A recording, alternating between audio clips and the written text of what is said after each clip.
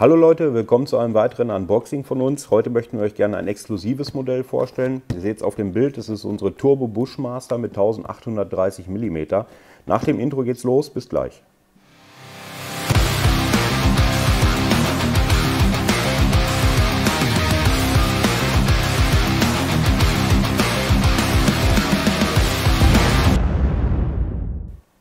So, willkommen zurück.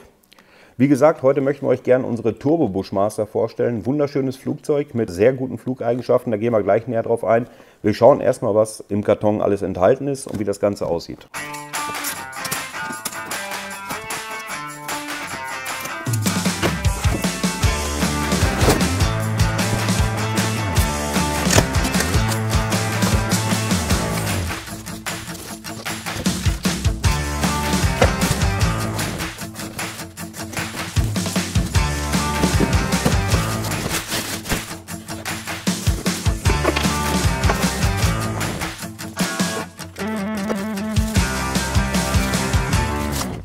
So, wir haben einmal alles aus dem Karton rausgeholt. Das ist eine Menge Zeug, wie ihr gesehen habt. Also es ist schon eine gewisse Zeit in Anspruch genommen hat, das alles auszupacken. Im Karton selber ist alles wirklich sehr sauber verpackt, sehr geschützt gelagert. Es ist alles mit Folie eingepackt. Es liegt alles in Fächern, wo es nicht verrutschen kann. Also im Großen und Ganzen sehr sicher verpackt. Und zusätzlich, wie ihr gesehen habt, oben nochmal eine Kartonlage drüber als zusätzlichen Schutz. Lieferumfang ist das, was ihr jetzt hier seht. Es ist auch in der Bedienungsanleitung gut beschrieben, was da drin ist. Und zwar auf den ersten Seiten nach den Sicherheitshinweisen, dem üblichen Gesetzestexten und so weiter und so fort. Gibt es einmal, ich zeige es mal einmal in die Kamera, hier eine Seite mit dem Lieferumfang. Mit dem, was wir jetzt ausgepackt haben, können wir jetzt relativ einfach prüfen, ob tatsächlich alles enthalten ist, was im Lieferumfang sein muss. Wir gehen es mal durch. Wir haben einmal den Rumpf. Der Rumpf ist soweit fertig. Es muss halt Höhenleitwerk, Seitenleitwerk noch angebracht werden, die Flächen und so weiter, aber da gehen wir gleich näher drauf ein. Wir haben einmal das Höhenleitwerk, ist bereits fertig angeschlagen mit Scharnieren und auch mit dem Ruderhorn. Das gleiche gilt für das Seitenruder. Ist auch alles fertig mit Scharnieren und auch mit dem Ruderhorn versehen. Wir haben ein massives Aluminiumfahrwerk, Fahrwerksbügel, Zu dem Fahrwerksbügel haben wir 125 mm Luftreifen, also richtige Luftreifen.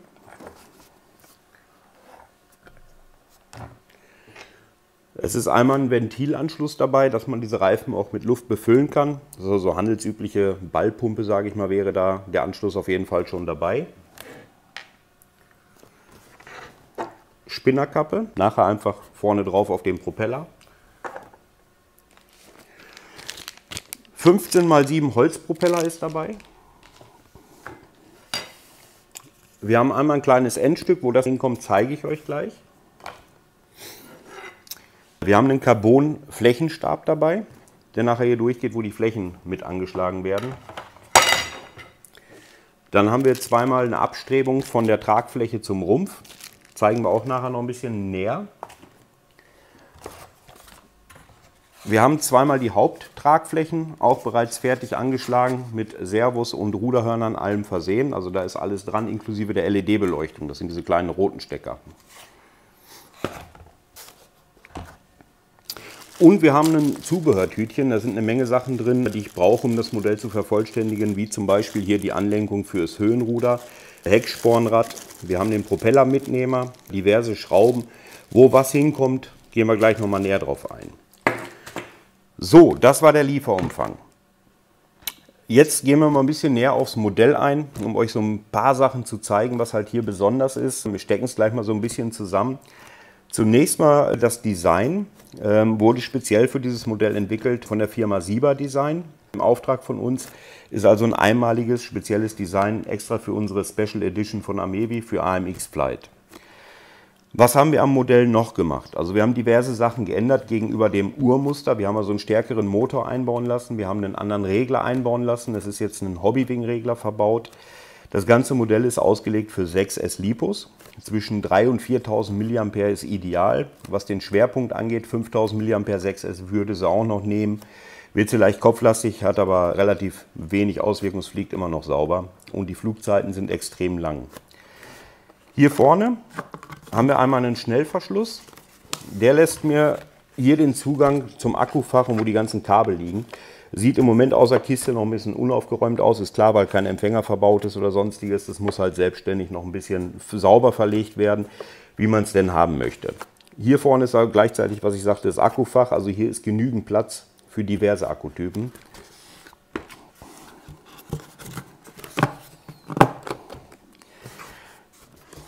Dann haben wir hier oben nochmal eine Klappe als Zugang äh, zum Empfänger. Also hier ist im Prinzip der Empfängerplatz. Hier liegen auch die fertigen Servokabel wieder, um den Empfänger damit zu bestücken. Ist also recht platzmäßig sehr großräumig oder großzügig gestaltet, dass man hier sauber arbeiten kann. Hier sind bereits die fertigen Anschlüsse für Querruder, für Landeklappen und für die LED-Beleuchtung. Die Gegenstücke, ich zeige es mal einmal, sind hier und hier. Das heißt, hier brauche ich im Prinzip nur diesen weißen Stecker hier in diese Führung reinsetzen, das BEC-Kabel verbinden und dann habe ich im Prinzip die Beleuchtung aktiv, ich habe das Querruder aktiv und auch die Landeklappen aktiv.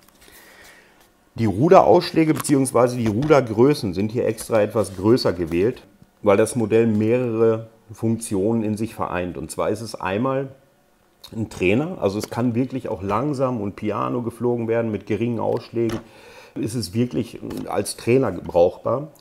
Ich habe halt recht große Querruder, ich habe große Landeklappen. Das heißt, die Fluggeschwindigkeit lässt sich hier nochmal deutlich verringern, was dann wiederum diesem Short Take-Off and Landing, also STOL-Flugeigenschaften zugutekommt. Aufgrund der Leistung reicht mir da eine Startstrecke bei gesetzten Klappen von 2-3 Metern. Und äh, das Modell geht bereits bei Halbgas äh, senkrecht, ist also mehr als genügend Leistung vorhanden. Wenn ich jetzt wirklich Kunstflug machen möchte mit dem Modell, habe ich hier verschiedene Möglichkeiten. Erstmal habe ich extrem große Ausschläge nach oben und nach unten. Das heißt, sie ist an sich schon mal relativ wendig, wenn ich es möchte. Jetzt habe ich aber hier die Möglichkeit, weil die Klappen jetzt nicht nur nach unten angeschlagen sind, sondern im Prinzip wie ein Querruder auch nach oben. Das heißt, ich kann die beiden Ruder miteinander verbinden, wenn ich einen Computersender habe, der dieses Mischverhältnis zugibt und kann sie im Prinzip als gesamte Fläche nutzen. Hat halt den Vorteil, dass das Modell deutlich wendiger ist, deutlich schneller um die Achsen dreht, also die Rollrate ist deutlich höher. Dann ist es eigentlich im Prinzip ein voll 3D-taugliches Flugzeug. Von der Leistung her sind wir bei einem Schubgewichtsverhältnis von deutlich über 2 zu 1, was eine Menge Spaß verspricht. Und äh, wir haben es im Vorfeld schon geflogen, also das Teil geht wirklich fantastisch. Zusätzlich haben wir hier in der Fläche eine komplette Nachtflugbeleuchtung. Das heißt, die Fläche ist von innen beleuchtet. Also böse Zungen behaupten, man bräuchte nachts eine Sonnenbrille, weil sonst wird man blind vom Gucken. Es ist wirklich richtig hell, das Teil. Also überzeugt euch selber von. Ansonsten ist hier alles soweit fertig. Hier vorne die Aufnahme ist in Kunststoff gehalten. Hier werden im Prinzip die Schrauben durchgesetzt, die hier wiederum die Fläche bzw. den Rumpf mit der Fläche verbinden. Die Gesamtspannweite des Modells beträgt 1830 mm. Ist also eine sehr angenehme Größe, ist also nicht zu klein, man sieht sie sehr gut. Habe halt viel tragende Fläche, ich habe also relativ gute Möglichkeiten rumzuschleichen, wenn ich möchte, oder halt auch richtig gehen zu lassen. Das bleibt halt jedem selbst überlassen. Die Flugzeiten sind je nach Akku, also wir haben es mit dem 5000er getestet, sind bei 10 Minuten immer noch bei roundabout 40% Akkuleistung. Also ich denke mal, wenn man hier ein bisschen Piano fliegt, sind hier selbst mit einem 3.000 oder 4.000 mAh 6S Akku problemlos Flugzeiten von 8 bis 10 Minuten möglich. Auf der Unterseite des Modells haben wir nochmal verschiedene Fächer. Einmal ist hier ja, so eine kleine Lüftung, sage ich mal, wo ein bisschen auch die Wärme abgeführt werden kann. Und hier vorne ist nochmal ein kleines Fach, wo der Zugang zum Regler gegeben ist. Hier sieht man auch, was für ein Regler verbaut ist. Das ist ein Hobbywing Skywalker mit 80 Ampere. Wir haben hier einen 5 Volt oder 5,5 Volt Ausgang und einen 8 Ampere U-Back. Das heißt, wir haben hier genügend Strom, sodass das Modell auch immer sicher steuerbar ist und irgendwo der Strom nicht in die Knie geht und das Ding nicht mehr kontrollierbar ist. Die Aufnahme fürs Fahrwerk ist hier komplett in Holz gehalten. Hier würde letztendlich der Fahrwerksbügel reingesetzt. Das passt also alles auch sauber wird mit vier Schrauben verriegelt und dann ist das Fahrwerk fest mit dem Rumpf verbunden und das ist wirklich haltbar.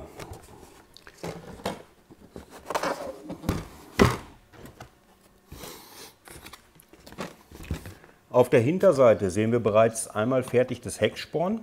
Das ist hier direkt mit dem Servo verbunden. Das heißt, hier wird es auch über das Seitenruder-Servo direkt mit angelenkt. Ist also voll lenkbar. Das Gestänge für das Seitenruder ist hier fertig verlegt. Und hier sitzt das Höhenruder-Servo. Das sind alles Metallgetriebe-Servos. Die sind von der Geschwindigkeit her bei 0,10, 0,11 Sekunden relativ zügig für die Größe. Also ist auch hier äh, eine Menge Spaß vorprogrammiert, wenn ich es möchte. Hier letztendlich nur noch das Servohorn draufsetzen, das Höhenruder einsetzen und dann ist das Modell auch hinten soweit fertig. Wo wir gerade dabei sind, hinten, das sind die einzigsten Punkte in diesem Falle, wo was geklebt werden muss. Und zwar wird hier letztendlich das Höhenruder, hier sind so Aussparungen, das heißt so Führungsaussparungen, sage ich mal. Hier wird das Höhenruder reingesetzt das kann also gar nicht verrutschen, das sitzt schon fest. Ich brauche es eigentlich nur ein bisschen Kleber versehen und dann ist das Teil fest drin. Gleiche gilt fürs Seitenruder. Ich habe hier also eine komplette Führung. Ich halte es mal so ein bisschen in die Kamera. Das Seitenruder passt hier sauber in diese Führung rein und schließt hier sauber ab. Das heißt, hier ist auch die Bewegung kein Problem. Es ist alles freigängig. Was jetzt hier so ein bisschen klackert, ist klar. Hier ist Gestänge am Servohorn. Und auch hier extreme Ausschläge möglich. Also hier geht wirklich was. Das sind nahezu Schockflyer-Ausschläge. Also das bereitet mit Sicherheit eine Menge Freude. Das Stück hatte ich eingangs gesagt, zeige ich nachher, wo es hinkommt. Und zwar ist das hier hinten letztendlich der Abschluss. Der wird einfach hier ebenfalls geklebt und dann ist das hinten fertig. Mehr brauche ich hier nicht machen.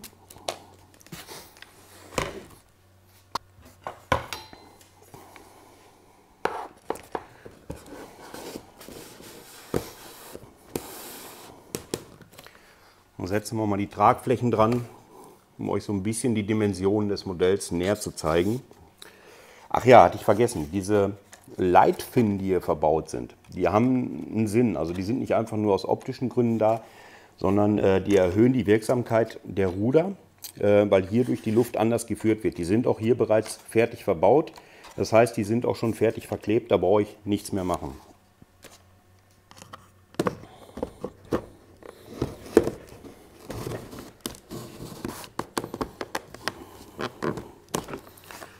Ich stecke es jetzt nur mal eben so ein bisschen zusammen.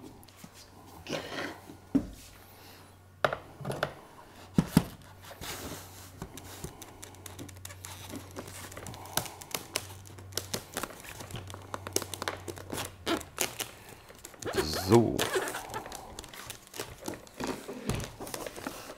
die Kabel sind jetzt ein bisschen im Weg. Das müssen wir natürlich nachher noch sauber verarbeiten, das mache ich aber später. So seht ihr erstmal so ein bisschen die Dimension des Modells. Also die ist tatsächlich nicht klein und das Design sollte jetzt auch relativ gut zu erkennen sein äh, mit Rot, Schwarz und Weiß. Von unten das gleiche mit diesen äh, ja, grau- oder schwarz-roten Streifen ist die Sichtbarkeit des Modells tadellos. Also ist wirklich egal bei welchen Wetterverhältnissen oder Wolken oder sonstiges sehr gut zu sehen. Und aufgrund der Größe wäre es eh kein Problem.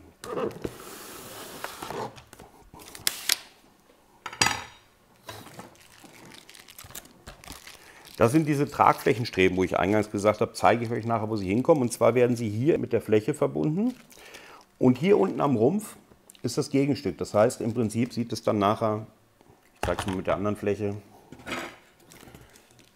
So wird es nachher fertig aussehen. Das heißt, die Strebe wird hier an der Fläche und am Rumpf jeweils einmal mit einer Schraube gesichert und dann ist eine zusätzliche Abstrebung für die Tragfläche. In dieser Strebe ist ein Carbonstab eingearbeitet. Das sieht man jetzt auf dem Video nicht, aber das ist, hat also auch einen Wert, das Ganze. Es ist flexibel, aber trotz allem stabil. Es gibt einfach der Tragfläche ein bisschen Unterstützung jetzt bei harten 3D-Manövern, dass es jetzt nicht zu sehr zur Verwindung der Fläche kommt. Äh, was jetzt bei wirklich harten Manövern vollkommen der Fall wäre, ist aber auch nicht tragisch. Zu den Flächen selber sind zweiteilige Flächen, das heißt sind zwei und ein Ober- und Unterteil, was miteinander verbunden ist, weil hier drin selber eine ganze Menge äh, Holzapplikationen verbaut sind. Das heißt, hier sind Holzstreben drin und so weiter, die der ganzen Fläche deutlich mehr Stabilität geben. Also ich habe hier wirklich richtig hartes Material, was an sich schon kaum Biegung zulässt. Ein bisschen muss sein, ansonsten wäre es zu starr, das wäre dann auch nicht gut. Aber die Dinger sind knüppelhart.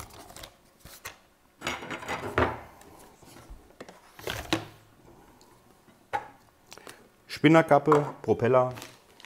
Da brauche ich glaube ich nicht viel zu sagen. Der Mitnehmer ist hier drin, die Schrauben sind da drin. Wird einfach hier auf den Motor aufgesetzt. Das ist ein 50-15 Motor mit 550 kV an 6S. Also liefert ordentlich Schub und eine vernünftige Drehzahl. Sieht dann letztendlich, ich halte es jetzt einfach nur mal dran, so würde es dann letztendlich aussehen.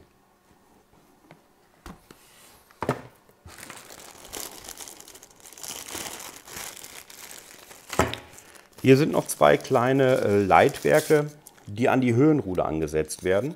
Und zwar sitzen die beim Höhenruder. Ich habe es jetzt dran stecken. Ich kann es aber trotzdem einmal zeigen. Also Schrauben sind dabei. Die sitzen letztendlich hier auf beiden Seiten, rechts und links, werden mit zwei Schrauben verriegelt. Das sind nochmal zusätzliche Leitbleche, um da auch die Anströmung auf dem Höhenruder bei geringen Geschwindigkeiten deutlich zu erhöhen und für weniger Verwirbelung zu sorgen. Das ist also dem, dem Flugverhalten der Präzision, Präzision mein Gott, schwieriges Wort, hilft das Ganze enorm weiter. Also es ist selbst bei, bei langsam geflogenen Figuren habe ich einfach eine bessere Anströmung auf die Ruder, das heißt eine bessere Wirksamkeit. Ist also nicht einfach nur zur Zierde, sondern die haben einen Sinn, die Teile. Reifen hatte ich schon gesagt. 125 mm Durchmesser, komplett luftbefüllte Reifen, also jetzt nicht irgendwelche Fakes, sondern tatsächlich luftgefüllt. Hier ist das Ventil, hier ist das Gegenstück, rein, aufpumpen, je nachdem wie ich es haben möchte oder Luft ablassen. Bei weniger Luft habe ich halt den Vorteil, dass ich auf härterem Untergrund Steine oder wie auch immer oder Feldwegen oder sonstiges problemlos starten und landen kann. Höhere Wiesen wäre jetzt auch kein Problem und wenn ich eine Asphaltbahn habe oder kurz gemähten Rasen, kann ich es auch ein bisschen härter machen. Dann ist der Rollwiderstand geringer und zusätzlich mit etwas geringerem Luftwiderstand wäre zum Beispiel jetzt bei ja, Short Take-Off and Landing, also kurzen Start- und Landeeigenschaften, bei kurzen Landeeigenschaften die Möglichkeit, das Modell aus einer geringen Höhe quasi einfach runterfallen zu lassen. Das würden dann in dem Falle die Luftreifen quasi wie eine Federung abfangen. Dafür ist es letztendlich gemacht.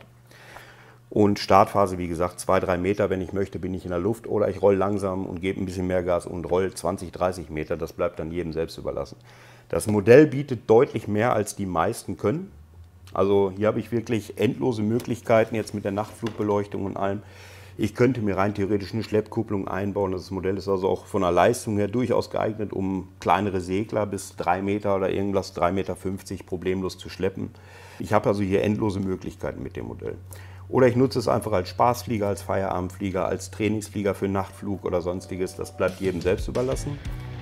Zum Modell selber können wir eigentlich gar nicht mehr allzu viel sagen, außer dass es im Handel verfügbar ist. Schaut einfach bei uns auf die Homepage. Wenn ihr Fragen dazu habt, meldet euch bei uns, äh, wendet euch an unsere Händler, wie auch immer. Das Modell selber werden wir jetzt in Kürze auch vorstellen auf diversen Messen. Wenn irgendwas dazu ist, kommt einfach durch. Mir bleibt eigentlich gar nicht mehr viel zu sagen, außer schön, dass ihr zugesehen habt. Wir sehen uns beim nächsten Mal. Bis dahin, macht's gut. Ciao.